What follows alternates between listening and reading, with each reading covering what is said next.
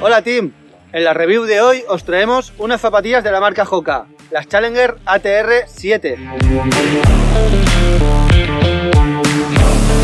La Challenger os va a permitir correr tanto por asfalto como por montaña, por zonas que no sean muy técnicas.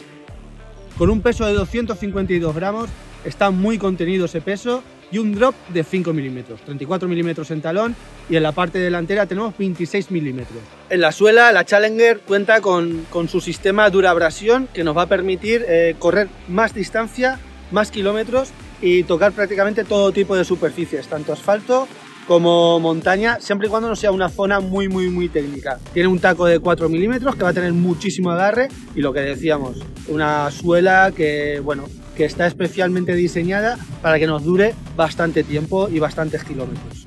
Continuamos con lo que sería la media suela y la amortiguación que está utilizando Hoka. En este caso, su goma EVA, que está utilizando en casi todos los modelos. Y bueno, eh, poco podemos decir de ella amortiguación muy suave, amortiguación que nos gusta muchísimo y sobre todo muy confortable en el paso de todos los kilómetros.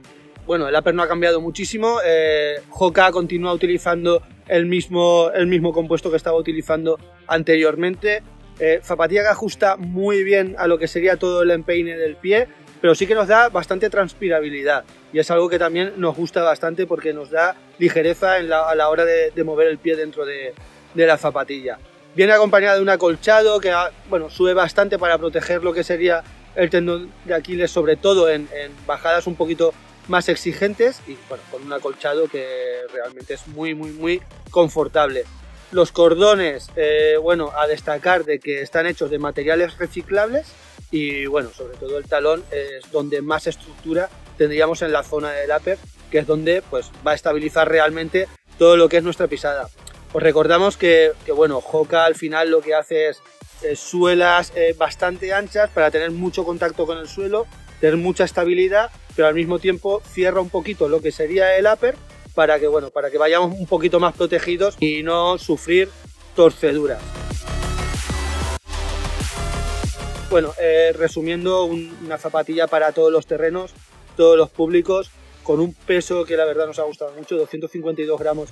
Es un peso muy ligero para una zapatilla de estas características, con, su amortiguación.